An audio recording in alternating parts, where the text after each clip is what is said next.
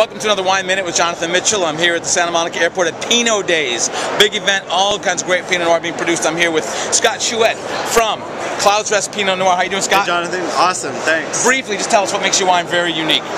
Uh, it's got to be the terroir. Everyone always talks about terroir. Clouds Rest has its own special, unique terroir, which you can actually just smell right in the glass. Yeah, I'm about to do that right now. Oh, it's killer. A lot of, lot of nice berries there.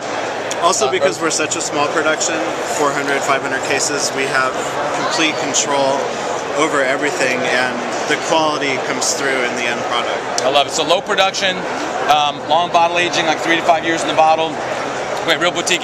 Good scores, like 90s. I saw 90, 94. It's looking really strong. And what's your uh, food pairing that you like with it?